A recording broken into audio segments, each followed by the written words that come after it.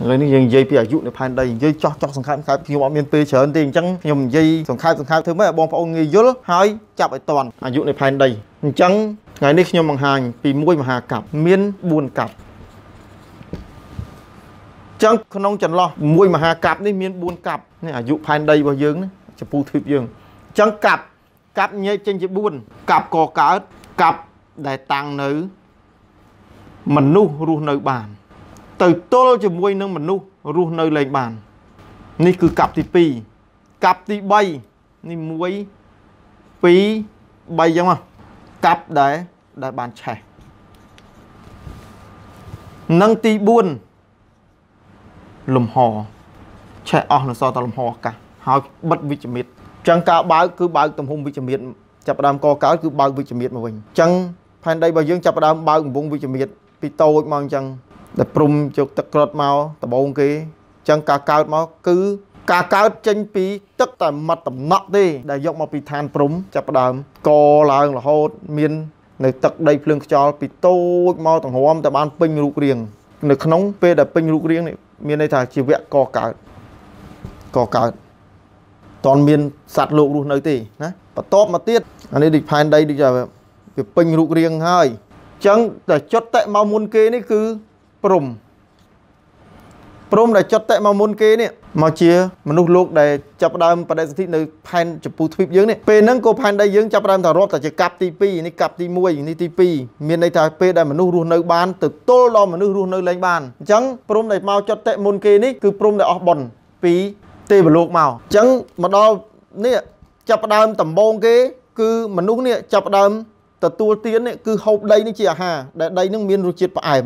នេះដីនឹងផ្អែមអញ្ចឹងដំណើររឿងវែងឆ្ងាយទៀតដល់រហូតមកទៀតទៅដីនឹងក៏លែងផ្អែមហូបលែងកើតចាប់ដើមដុះមុនគេគឺស្រូវសាលីស្រូវសាលីនេះនៅពេលដែលចាប់ដើមដុះមនុស្សក៏ទៅយកស្រូវនឹងយកមកទួទានទៅក្រោយមកទៀតមនុស្សចាប់ដើមចេះហុំ មានការរស់នៅមានការរួមរយៈបកបកើតធនធានមនុស្សហ្នឹងអញ្ចឹងស្រូវនឹងវាលែងដុះក៏ចាប់ផ្ដើមប្រមូលពូជស្រូវទាំងអស់ហ្នឹងយកទៅដាំចាប់ផ្ដើមចេះធ្វើស្រែពីចំនួនហ្នឹងមកនៅពេលដែលចាប់ផ្ដើមចេះធ្វើស្រែហ្នឹងមកក៏មានមនុស្សមកពួកទៀតហ្នឹងជិលទៅប្រមូលផលនេះក៏ចាប់ផ្ដើមលួចអាស្រូវក្នុងចង្រុកនេះលួចស្រាប់ស្រាប់អញ្ចឹងចោលក៏ចាប់ផ្ដើមមានទាំងចំនួនហ្នឹងមកម៉េះរួចរហូតមកដល់មនុស្សចាប់ផ្ដើមកកើត ឡើងរស់នៅ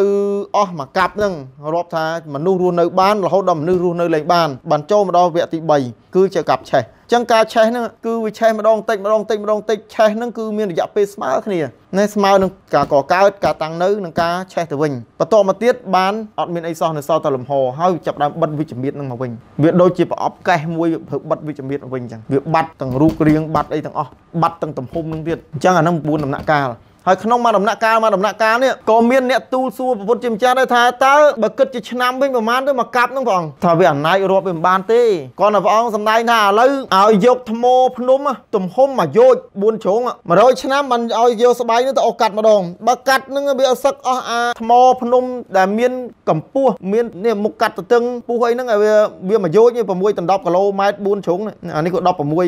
យោជ4ជ្រុង16អានេះក៏16គីឡូម៉ែត្រ4ជ្រុងអញ្ចឹង100ឆ្នាំឆ្នាំឲ្យយកតែស្បែកនឹងទៅអស់កាត់មិនតិចហើយ100ឆ្នាំក្រោយទៅអស់កាត់ទៀតរហូតដល់ថ្មភ្នំនឹងសឹកអស់គោមិនទាន់ប្រមាណបានស្មើនឹងអាយុនៃផែនដីនេះផងអញ្ចឹងនឹងក៏នៅគិតថាមកកាប់ផងអញ្ចឹងគ្រាន់តែបង្ហាញប៉ុណ្នេះទេខ្ញុំ ចង់បង្ហាញថាវាមាន4ដំណាក់កាលអញ្ចឹងនេះផែនដីដែលយើងកំពុងរស់នៅហ្នឹងចង់កុំឲ្យចេះតែគេប្រភ័យតិចនេះថាឆេះកាប់នោះឆេះកាប់វាមិនងាយងាយឆេះទេអញ្ចឹង4ដំណាក់កាលនេះគឺវា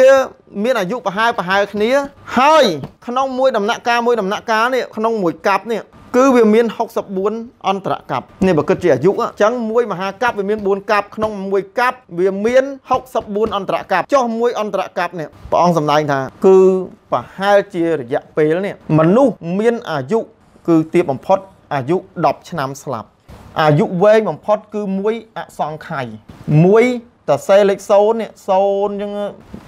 140ខ្ទង់0អញ្ចឹងមួយអន្តរកាប់នេះរយៈពេលព្រះអង្គសម្ដែងថា 100ឆ្នាំដកតែមួយឆ្នាំមានន័យថា100ឆ្នាំខៃចុះតែមួយឆ្នាំក្នុង100ឆ្នាំអញ្ចឹង100ឆ្នាំដក1 100ឆ្នាំដក1ដកមករហូតដល់មនុស្សអាយុ10ឆ្នាំមានន័យថាធ្វើដំណើរប្រវែងនេះ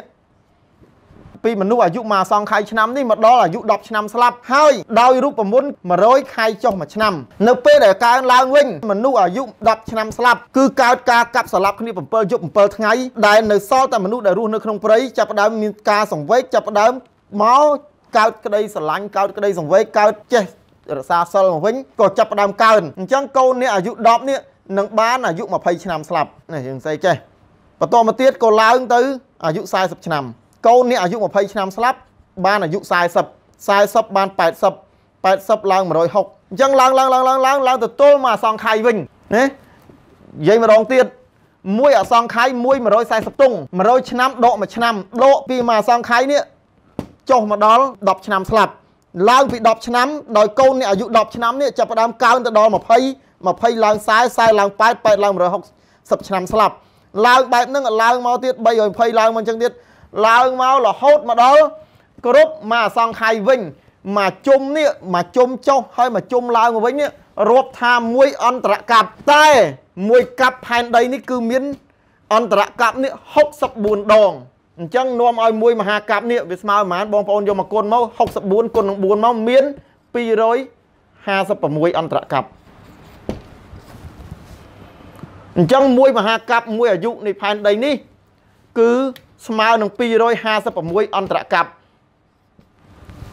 មានន័យថាការខៃចុះខៃឡើងខៃចុះខៃឡើងខៃចុះខៃឡើងនេះគឺ256ដងឃើញទេវគ្គដែលកកើតកមានការខៃចុះខៃឡើងនេះវិលមកជុំហ្នឹង64អន្តរកັບត្រូវទេការតាំងនៅដែលមនុស្សរស់នៅបានរហូតដល់នៅអត់បាននេះគឺមានរយៈពេល64អន្តរកັບដែរណាខៃចុះខៃឡើងនេះ64ជុំដល់ដំណាក់ការឆេះនេះមិនមែនឆេះភីងបែកអស់លីងទេការឆេះងុំងុំងុំងុំទាំងងតែបែកធ្លាយផែនដីយើងនឹងអស់ គឺមានរយៈពេល64អន្តរកម្មនឹងដែរបន្តមកទៀតនៅសល់តែលំហអាកាសហើយចាប់បានបិទវិជ្ជមាននេះគឺមានរយៈពេល64អន្តរកម្មដូចគ្នាតននេះនឹងអាយុនៃផែនដីនៅក្នុងសាសនាពុទ្ធព្រះអង្គបានព្យាករបានបង្ហាញដល់សត្វលោកហើយបានយល់ពីអាយុផែនដីមួយមហាកាប់មាន4កាប់ស្មើ256អន្តរកម្មមួយកាប់មាន64អន្តរកម្មហើយក្នុងមួយអន្តរកម្មនេះស្មើនឹងការវិលចុះនឹង ចឹងយើងគិតមើល100ឆ្នាំដកខៃចុះតែមួយឆ្នាំអញ្ចឹងមួយអសង្ខ័យនេះចុះពី1 140ខ្ទង់នេះចុះមកដល់10ឆ្នាំស្លាប់មនុស្សអាយុ10ឆ្នាំមានកូនអាយុ20 20ឡើង40 40ឡើង8 8ឡើង160ឡើងឡើងទៅទល់នឹងមួយអសង្ខ័យវិញមកជុំនឹងរាប់ថាមួយអន្តរកាប់64ដងបានបានស្មើមួយកាប់4កាប់មានន័យថា64នឹងគុណនឹង4ដង256អន្តរកាប់មួយមហាកាប់